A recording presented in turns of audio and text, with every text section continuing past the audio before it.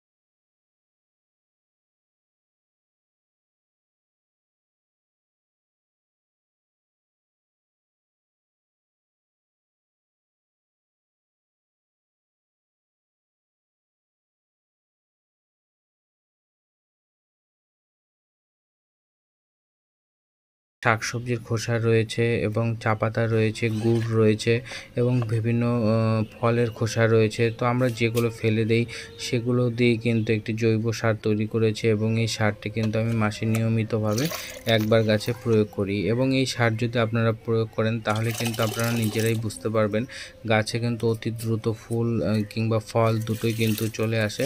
এবং এই সারের সঙ্গে কিন্তু হাফ মগ সারের সঙ্গে আরও এক মগ জল মিশিয়ে তারপর কিন্তু গাছে প্রয়োগ করবেন এবং গাছের গোড়া যদি ভিজে থাকে তাহলে কিন্তু কখনোই সার প্রয়োগ করবেন না, তাহলে কিন্তু গাছের অনেক বড় ক্ষতি হতে পারে।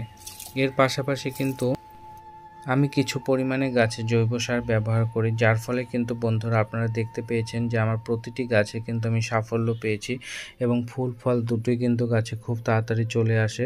তো আমি এখানে কিছু পরিমাণে জৈব সার নিয়ে নিয়েছি তো এই সারের মধ্যে কিন্তু রয়েছে চা পাতা রয়েছে, আখের গুড় রয়েছে, এছাড়াও কিন্তু কলা রয়েছে, কলার যে চোকলা আছে সেটাকে আমি কেটে নিয়েছি এবং ডিমের খোসা সেটাকে আমি পেস্ট করে নিয়েছি। তো চা পাতাটা অবশ্যই গাছে প্রয়োগ করবেন, কারণ চা পাতার মধ্যে কিন্তু নাইট্রোজেন রয়েছে, নাইট্রিক অ্যাসিড রয়েছে, জিঙ্ক রয়েছে, ম্যাগনেশিয়াম রয়েছে, সালফার রয়েছে, আয়রন রয়েছে, কপার রয়েছে, যা গাছকে অতি দ্রুত বেড়ে উঠতে সাহায্য করে।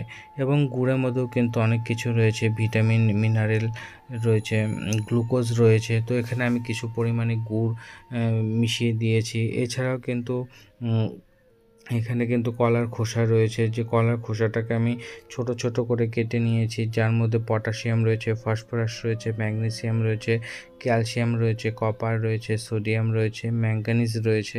এবং আমি কিছু পরিমাণে ডিমের খোসা সেটাকে ভালো করে পেস্ট করে নিয়ে নিয়েছি। তো আমি এই উপাদানগুলো একসঙ্গে করে এবং এখানে কিছু পরিমাণে কিচেন কম্পোস্ট রয়েছে, তো বিভিন্ন পাতা রয়েছে শুকনো।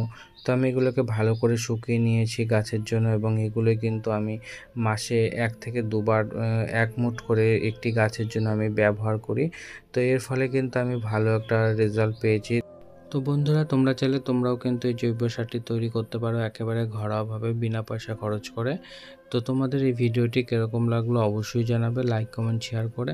যদি ভালো লেগে থাকে তবে একটি সাবস্ক্রাইব করে দেবে এবং পরবর্তীতে আমি আরও অনেক নতুন ধরনের ভিডিও নিয়ে আসব।